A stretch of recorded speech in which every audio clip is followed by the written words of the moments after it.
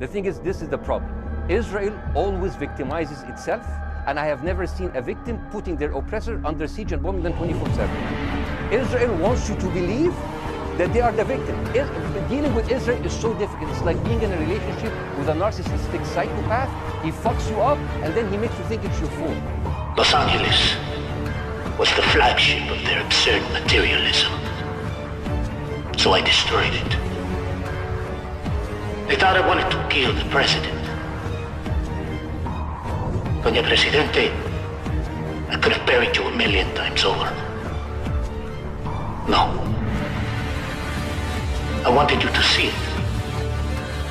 To feel what it's like. Today, two billion people exist in abject misery, tyrannized by war.